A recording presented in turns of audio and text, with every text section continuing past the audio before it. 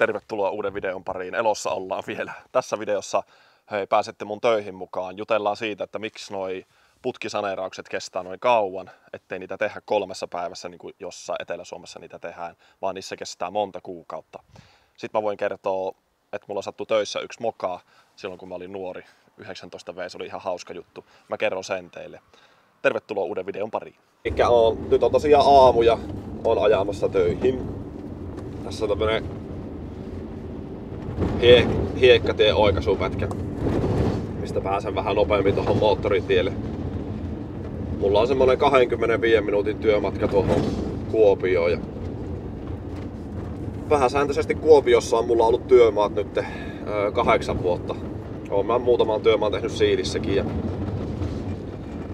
tota, oon ihan tykännyt, mutta nyt mulla on tulossa muutos. Muutos tuota, näihin kuvioihin, kun minä perustan sen oman firman, niin ajattelin, että pitää ennen kuin lopetan nämä kerrostalotyömaat, niin pitää kuvata tämmönen video. Varsinkin saneerauskohe on nyt, mä oon parin vuoden tauon jälkeen päässyt saneerauskohteeseen taas, niin, tai joutunut, mitenkä se kukakin aattelee. Minä nyt oon itse henkilökohtaisesti ihan tykännyt saneerauksistakin. Ei sillä sen puolelle, että uudis ja saneeraus, molemmissa on omat hyvät puolensa, mutta joo, suosittelen kyllä nuorille kokeilemaan tuota raksa-alaa.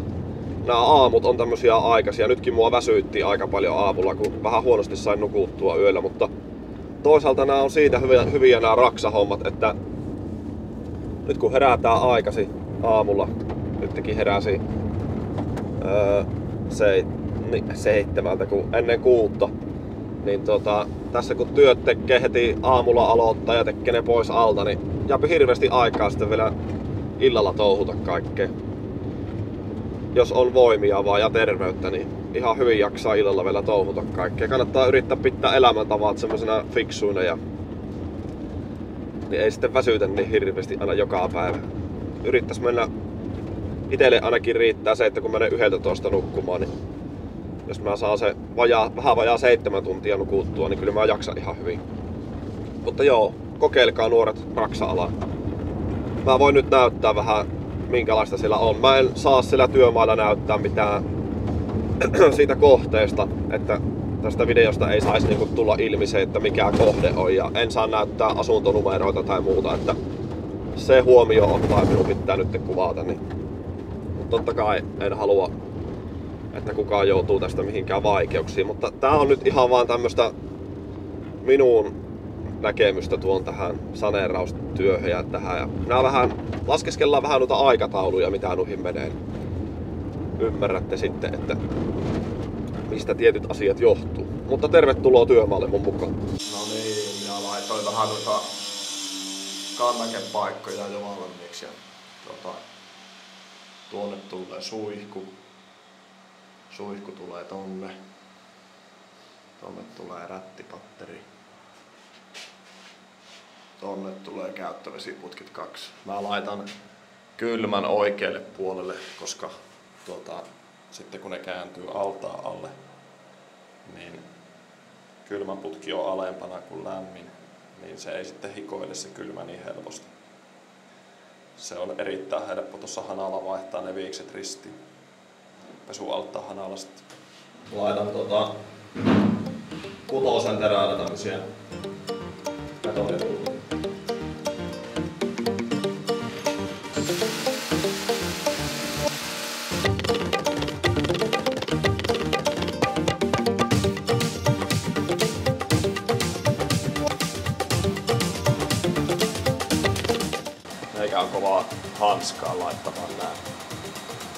Mitat, mitä pokkailet.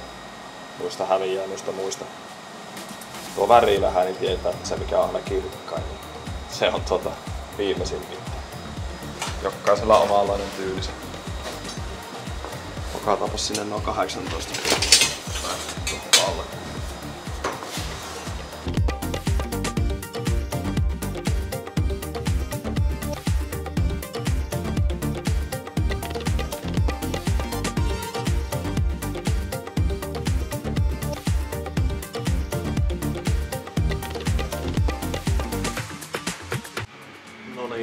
Tällä mallilla Ja tota, ei laiteta vielä noita suihkunputkia. Pistetään ekaa tuo kei, keittiölle menevät finkut. Tosta tonne ja keittiön puolelle. Mitataan minkä mittaiset siihen pitää laittaa. Ja pistetään tota finkut siihen. Sähkäri on näköjään mennyt meidän reijistä, mutta ei onneksi ole kuin yksi sähköputki vaan.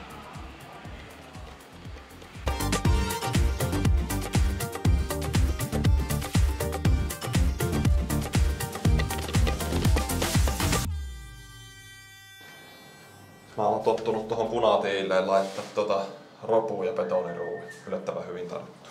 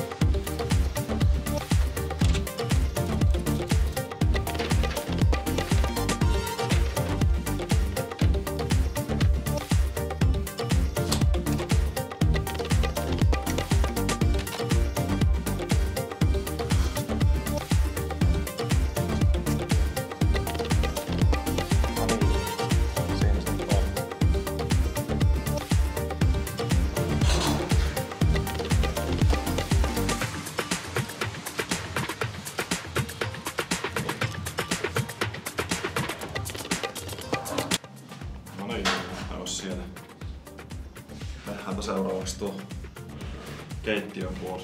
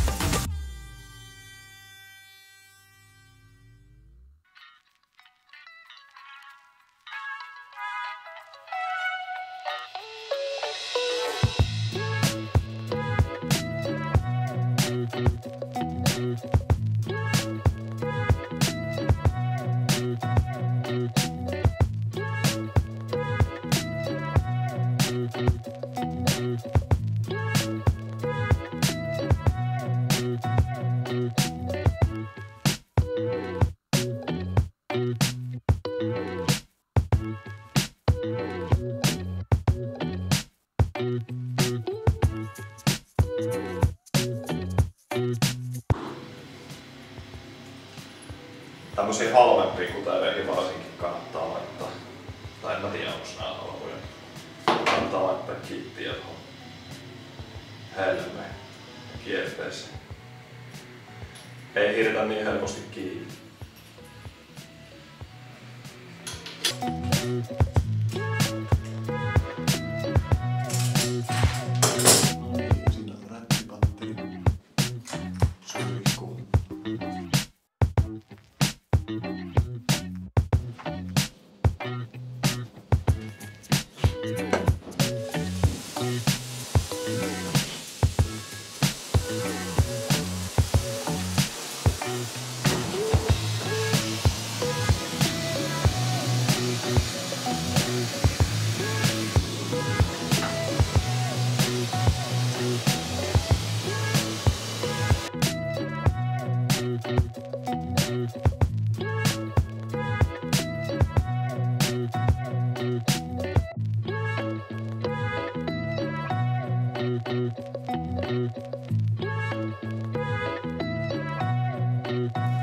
niin, siinä meni näköjään neljä puoli tuntia meni tässä asunnossa.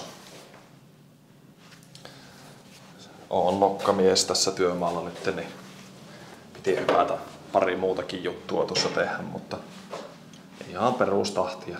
Tuntipalkalla mä nyt tässä on. tosiaan vähän yli kuukauden päästä aloitan yrittäjänä. Mutta siitä voi kaikki urakkapenat laskea, että paljonko mulle jäi tuntipalkkaa noille metreille. Voitte videosta ar- arvioida sitä. Laskin vähän laskimella noita tuntimääriä, että mitä tuommoisella työmaalla menee, niin se esimerkiksi putkimiesten osuus on se kuusi kuukautta kestää tuo työmaa, ja jos otetaan kuukausi jokaiselta lomia vaikka pois sitä välistä, niin viiden kuukauden työtunnella se tekee, että siellä pitäisi olla niin 33 ukkoa koko ajan 247 hommissa. Tuo tuntimäärä, mitä noita meidän töitä tuossa on. Eli pelkästään putkimiehiä pitäisi olla 33 sen, sen tuota, jos kolmessa päivässä tuommoinen saneeraus tehtäisiin. Sähkäreitä yhtä paljon, tim, timpureita ja maalareita ja muita, niin niitä varmasti varmaan ainakin kaksinkertainen, ellei kolminkertainen määrä.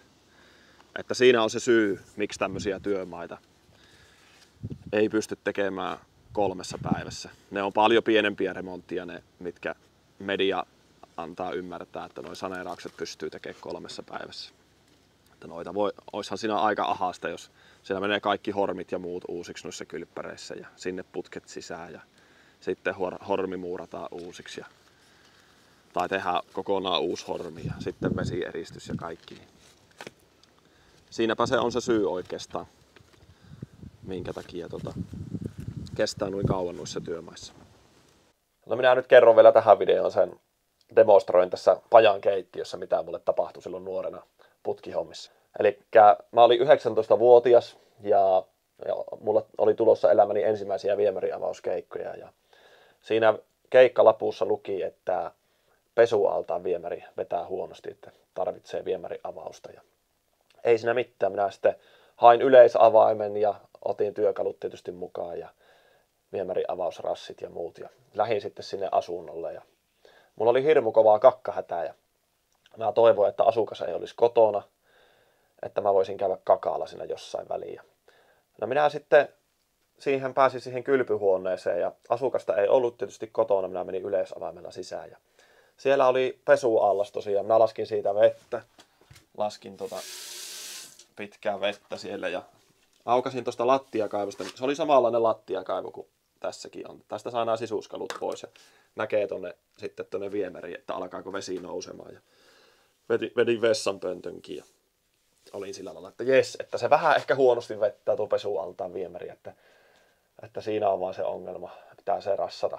Mutta minä käyn nyt ensiksi kakalla ja ei siinä mitään. Sitten minä olin lopettelemassa siinä hommia, sitä kakalla käyntiä ja kuulin, kun asukas tulee sisälle, tietysti omilla avaimillaan. Ja se alkoi huhuilemaan, että kuka täällä oikein on. Ja no minä, että no putkimies täällä ovi oli mulla messa ovilukossa, että on viemäriä aukaisemassa. Ja no siinä kerkesin ne tehdä, sitten vetäisin vessanpöntön, niin just ennen kuin olen avaamassa sille asukkaalle sitä ovea, niin tajuan, että ei terve, että ne, se viemäri olikin tukossa niin kuin lattiakaivolle asti melkein, siihen haaralle varmaan tai johonkin. Vessanpönttö oli siinä vieressä. Ja kun minä vetäisin sen vessanpöntön, niin se kaikki minun jätös, mitä oli just tehnyt, niin se minun oma kakkapökäle hyppäsi tuohon suihkun lattialle ihan kuin joku hylje.